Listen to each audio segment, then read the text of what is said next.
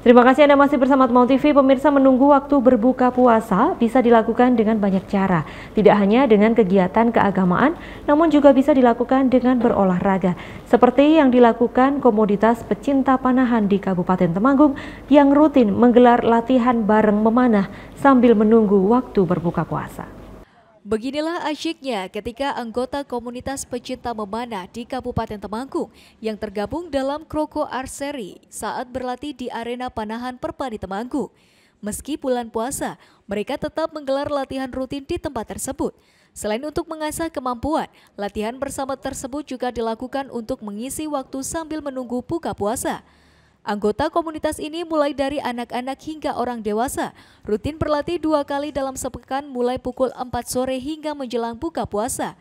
Untuk pemanah pemula menggunakan target 10 meter, sedangkan untuk yang sudah mahir menggunakan target 50 hingga 70 meter.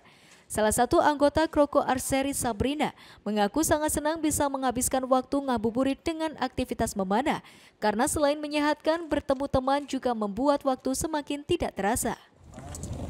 Kalau puasa gini sering latihan? Uh, biasanya emang ada yang latihan juga di sini. Kalau latihan dari jam berapa sampai jam berapa? Uh, biasanya kalau latihan yang reguler itu dari jam 4 sampai jam 6 sore. Okay. Iya. Uh, enak nggak pas puasa pas latihan gini? Enak sih karena rame jadi banyak temennya nggak nggak kerasa lapar atau gimana gimana. Oke, tapi kesulitannya ketika puasa apa mbak? Uh, ngelawan rasa malas sih ya gitu kan kan puasa kan rasanya pengen ini kan santai santai-santai gitu tapi kan kita juga punya tanggungan buat latihan jadi ya mau nggak mau harus ngelawan rasa malas buat latihan Sementara itu menurut Ketua Klub Kroko Arseri Hari Fitrianto, meski Ramadan komunitas Kroko Arseri tetap menggelar latihan bareng, hanya jumlah intensitas panahan yang dikurangi. Jika hari biasa bisa mencapai 200 anak panah, di Ramadan ini hanya 100 anak panah. Selain tetap untuk melatih skill, latihan bersama ini juga untuk mengisi waktu atau ngabuburit menunggu buka puasa di bulan Ramadan.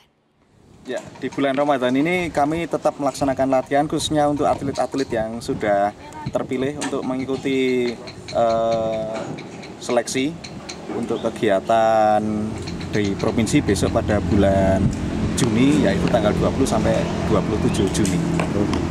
Uh, latihan ini dimaksudkan untuk apa selama Ramadan ini?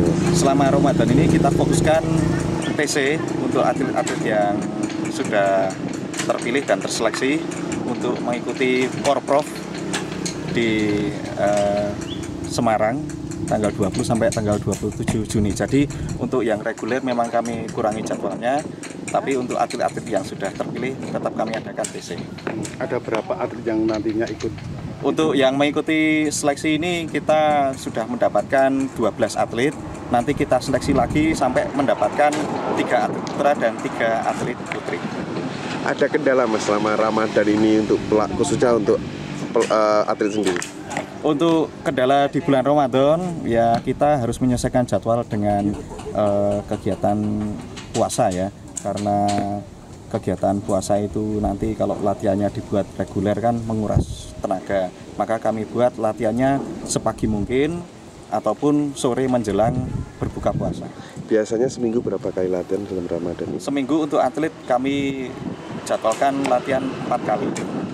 Ada pemotongan durasi, waktu atau gimana selama Ramadan ini? Untuk selama Ramadan kami potong durasinya dari biasanya untuk calon-calon atlet ini sehari itu kita minimalkan 200 anak panah menjadi 100 anak panah.